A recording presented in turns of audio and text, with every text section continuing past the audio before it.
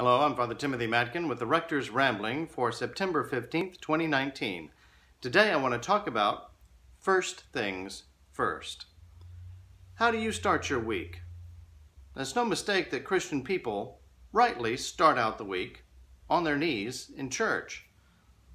Some of you might be taken a little off guard by that statement, not so much about the starting in church, but the reminder that Sunday, actually, rather than Monday, is the beginning of the week. Since we start our work week on Monday, we tend to forget that the week actually begins with the Lord's Day. Indeed, in the Bible, the resurrection occurs on what we call the eighth day, the beginning of a new creation. And so before we do anything else, whatever that is, first things come first. Before we go to work, before we watch the big game, before we get together with family and friends, before we even have breakfast. We give God the first moments of our day, of our week. Like a tithe, we offer the first fruits of our time. We come into God's presence to praise and to glorify Him.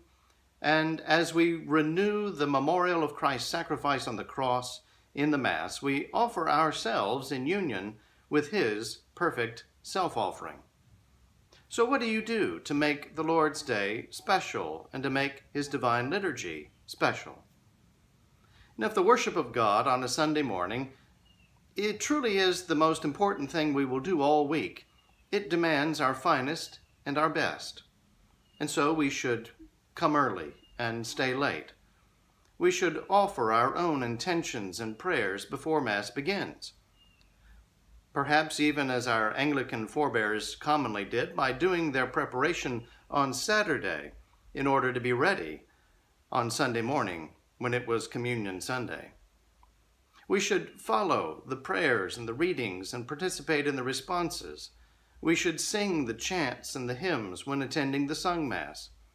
We should pause after Mass to offer our own personal thanksgivings and pray to use the grace that God imparted to us, especially when we receive Holy Communion. And this is what we mean by a well ordered life. When first things come first. That means God comes first.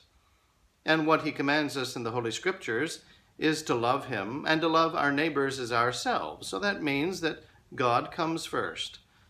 Others come second. I come third. I'm Father Timothy Matkin.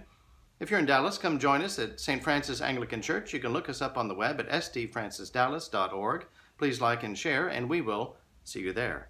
God bless.